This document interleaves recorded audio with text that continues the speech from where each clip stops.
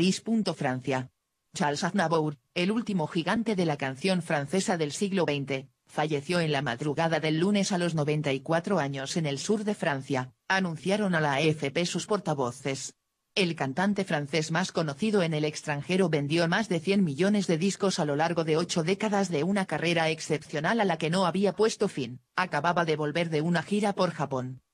Charles Aznavour nació en París el 22 de mayo de 1924, registrado al nacer con el nombre de Sanour Barinag Aznavourian Bagdasarian.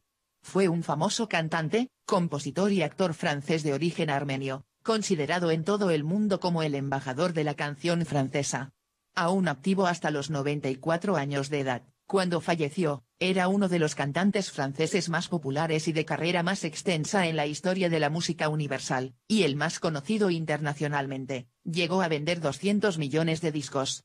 Aznavour fue conocido por críticos y admiradores con el apodo de Charles Aznavoice. Se le atribuye la frase el show debe continuar. Inicios y consagración en la música. Nació en París de padres armenios, y su verdadero nombre es Sanour Barinag Aznavourian Bagdasarian. Debutó en la canción junto a su hermana Aida, al mismo tiempo que en el teatro en 1933, donde interpretó desde los 11 años diferentes papeles infantiles. Su encuentro en 1941 con Pierre Roche fue decisivo para él, los dos hombres escribieron juntos canciones y las interpretaron a dúo. Haibu, cantada por George Sulmer, ganó en 1947 el Grand Prix. El dúo actuaba entonces en la primera parte de los conciertos de Edith Piaf, hasta que Roche se fue a Quebec. Aznavour escribió canciones para estrellas como La Piaf, Jezebel, Juliette Greco, G. Aisles Dimanches, Edie Constantine, Ed Bayer, Ed Dormir, pero al principio de su carrera tuvo muchas dificultades para triunfar. Más tarde, supo explotar este periodo de su vida en una canción que recoge el estado de ánimo de un fracasado en el mundo de la canción, Gem Boyais Deja. Su primer triunfo data de 1953, cuando actuó en el Teatro Olimpia, Surmavie se convirtió en su primer gran éxito. Canciones como Biens pleurero creux de Mone Paule, Tutlais ayer, La Mamma, Comils Dissent, son cada una de ellas un pequeño bosquejo de la vida cotidiana, un fragmento de vida. Aznavour posee una capacidad especial para resumir en pocas frases una situación en la que se encuentran muchas personas. También ha sabido explotar muy bien su persona, su talla, su voz, sus defectos se han convertido en cualidades. Muy pronto conquistó al público estadounidense y, más tarde, recorrió el mundo con su música. En 1994 grabó con Frank Sinatra el clásico You Make Me Feel So Young, para el álbum Duets del legendario croner norteamericano. Papeles en el cine. Charles Aznavour en 1956.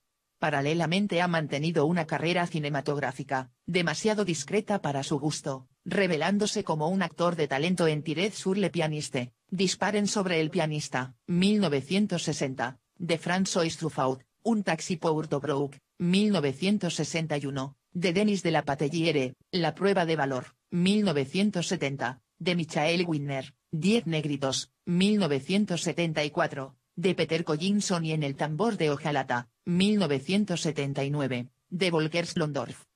En 1982 vuelve a ser una estrella internacional de cine, cuando interpretó el papel de Nafta en Der Zauberberg, La montaña mágica, película dirigida por Hans W. Heisendorfer.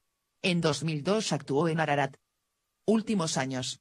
En 2002, Aznavour colaboró en el disco Duets del legendario cantautor y músico cubano Compa y Segundo, grabando a dúo la canción Morir de Amor. En 2009, su canción Forme, Formidable sonaba en la banda sonora de la película Siete Almas protagonizada por Will Smith. También en ese año, Aznavour publicó un álbum doble, Duos, donde cantaba con estrellas de varias generaciones como Liza Minnelli, Elton John, Plácido Domingo, Sting, Josh Groban y Laura Pausini. Gracias al uso de nuevas tecnologías, Aznavour ha podido grabar un dueto con la difunta Edith Piaf, con quien actuó cientos de veces pero sin llegar a registrar dichas actuaciones.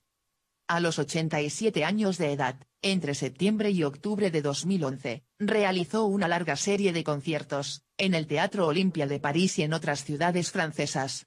En 2014, coincidiendo con su 90.